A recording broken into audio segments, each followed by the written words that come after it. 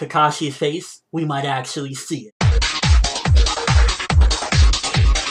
So we recently got a new interview from Masashi Kishimoto about Naruto, its future, and some plans that he has, as well as some commentaries regarding the series. This interview was in Viz's Weekly Shonen Jump, the US one, so if you don't have that one already, you definitely might want to subscribe to their uh, service, because you get the chapters, and you get extra bonus content like this, like an interview straight from the source, uh, Masashi Kishimoto himself. Now, with this interview, we got a couple of different things that necessarily weren't all that big. Like, he talked a little bit about how Konohamaru might make a good Hokage and how he hasn't had his honeymoon yet and it's like 10 years too late. So there was information that was like, oh, okay, interesting tidbits. But then there was actually a couple of interesting things in there that was like, whoa. So first of all, apparently they asked him regarding Kakashi's face, will we ever see the man behind the mask? And he actually revealed that as of right now, he doesn't have any structured plans yet. However, he does want to reveal his face, possibly either in the manga or in an upcoming film of Naruto. I think it would be a lot more impactful if you put it like in a film because first of all that would be like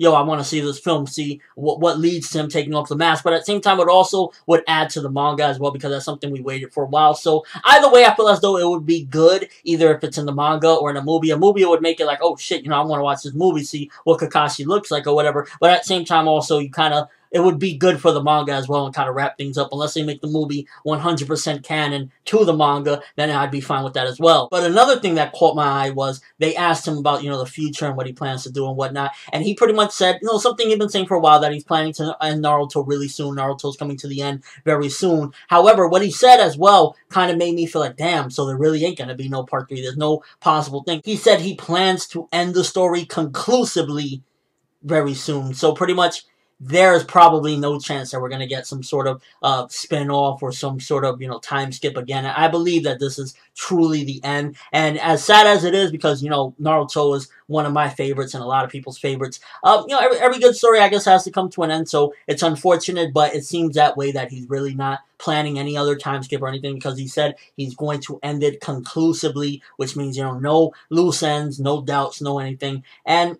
it, it is what it is. It's sad, but at the same time, it does have to come to an end at some point. It's been going on for years and years, over a decade. So mixed feelings regarding that. And last but not least, he said after Naruto ends, he might do something new, probably a new series or something along the lines of that. And I'm curious as to what he would do because if you've seen any of his other works, he did Mario, which was like some very serious mafia type of manga, and that was actually pretty enjoyable. And I'm curious, what type of series would he do after Naruto? If he already did like, you know, one of the most popular shonens of all time, I'd imagine he'd probably want to do something a little bit more darker and grittier probably. And I'm curious if will be shown in, in Shonen Jump or not. But regardless of what, first of all, the whole thing with Kakashi's mask coming off, I'm glad that we're finally going to see him at some point, whether it be in the manga or in a movie. He said he has no plans as of right now, but he wants to do it, so I'd imagine he's going to do it before Naruto ends. Also, the whole thing with him ending it conclusively, it sucks, but every good thing has to come to an end at some point, and Naruto falls along the lines of that as well. And while I would love for Naruto to go on for years to come, um, it's probably going to end without any time skip or anything like that, unless maybe the studio does like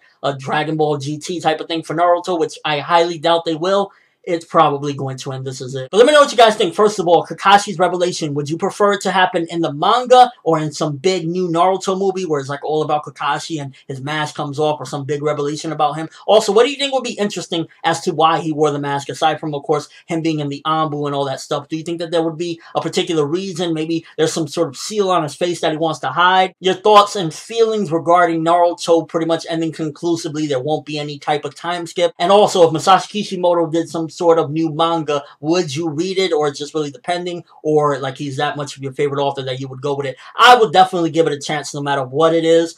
Uh, I would at least give it a read. If I like it, then, you know, I'd keep going. If not, of course, I'd stop. But I would definitely give the man a chance. I mean, he gave me 600 chapters of entertainment, over 600 chapters of entertainment. So I give him a shot. But that's all I have for this one. Thanks for watching. Hope you enjoyed.